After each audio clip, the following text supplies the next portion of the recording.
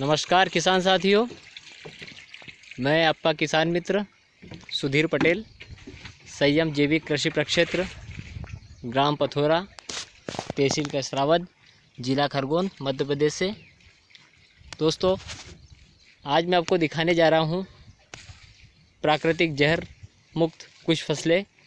जैसे आप देखेंगे, ये हल वाली मूंगफली, साथ में सूरजमुखी के ये पौधे और ये लगभग तीन एकड़ का एरिया, जिसमें लगभग ग्यारह से बारह फ़सलें ली गई है। मूंगफली से बिल्कुल सटा हुआ खेत ये, जिसमें ज्वार, देसी ज्वार और देसी मूंग, देसी अरहर, कुछ मिलेट्स हैं, देसी सफ़ेद तिल्ली, काफ़ी चीज़ें हैं इसमें, देसी साठी मक्का धानी वाली मक्का, काफ़ी चीज़ें हैं। ये मेरे सहयोगी, आपको मैं दिखाने जा रहा हूँ।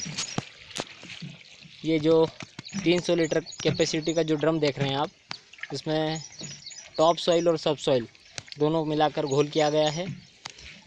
ये सी तकनीक है, जिसमें किस तरह हम किसी भी पड़त या उपजाऊ भूमि की मिट्टी को लेकर फ़सल पोषण प्रबंधन और फ़सल सुरक्षा में उपयोग कर सकते हैं इसका।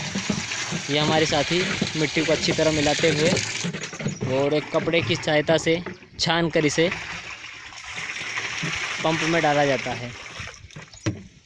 काफ़ी कारगर साबित हो रही ये विधि सी तकनीक। हर प्रकार के रस चूसक जो भी कीट होते हैं, सुंडिया हो, सभी को बहुत अच्छे तरीके से नियंत्रित करता है ये। किस तरह मेरी सोयाबीन की पीली पड़ी हुई फ़सल? मात्र दो स्प्रे में लगभग 80 प्रतिशत सुधार हुआ है। उसका भी मैं वीडियो आपके साथ साझा करूँगा। तब तक के लिए धन्यवाद। जय श्री राम।